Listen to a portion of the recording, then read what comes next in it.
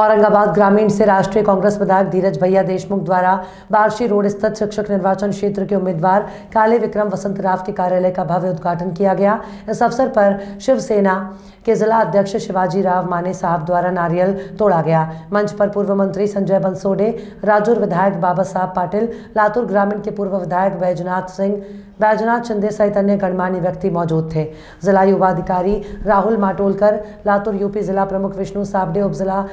योगेश स्वामी उपजिला प्रमुख